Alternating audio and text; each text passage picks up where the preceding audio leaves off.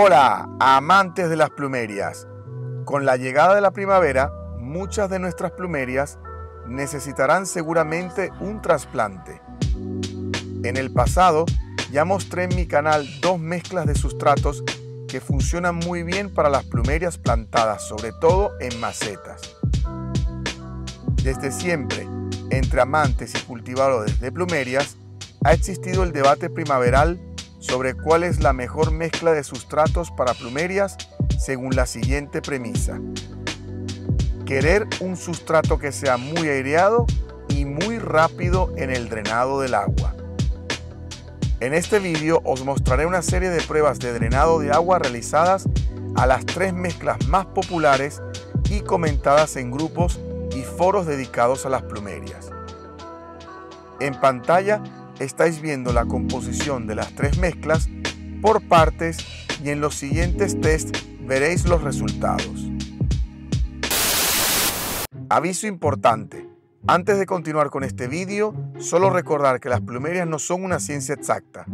Cada uno es libre de crear, probar y comprobar la mezcla de sustratos que mejor le convenga, ya sean las expuestas en este vídeo o en cualquier otro soporte digital o físico. Mezcla 1, que consta de dos partes de sustrato universal más una parte de perlita y recuerdo que aplicaré 500 mililitros de agua para saturar la mezcla y testar su drenaje.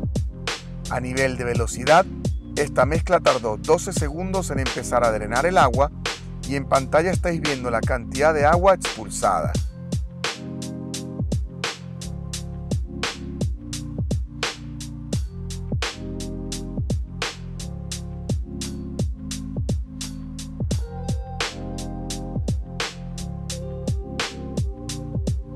Mezcla 2. Consta de tres partes de sustrato universal, más dos partes de sustrato especial para cactus y una parte de perlita. Aplicando nuevamente otros 500 mililitros de agua para saturar la mezcla y testar su drenaje. A nivel de velocidad, esta mezcla tardó 10 segundos en empezar a drenar el agua y en pantalla estáis viendo la cantidad de agua expulsada.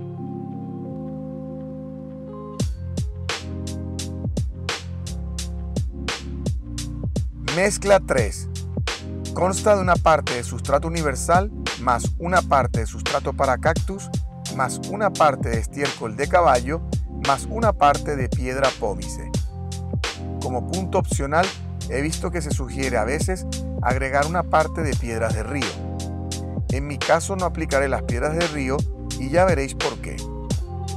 A nivel de velocidad, esta mezcla tardó tan solo 7 segundos en empezar a drenar el agua y lo que más impresiona es la cantidad de agua expulsada.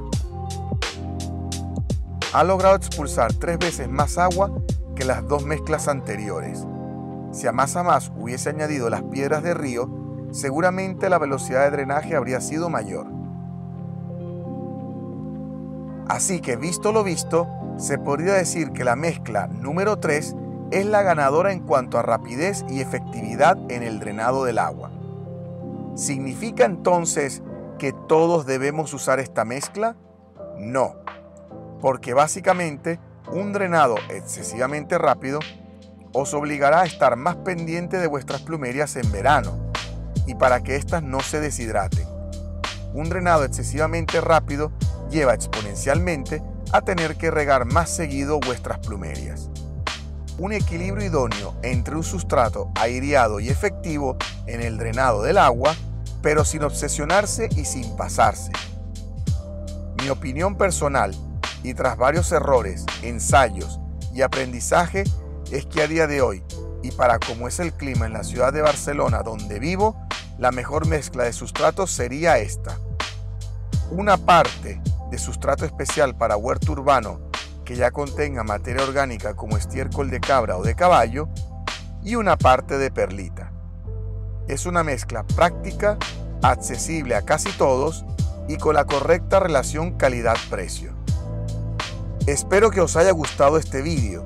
Si es así, dadle por favor al botón de like y como siempre os deseo, salud para todos.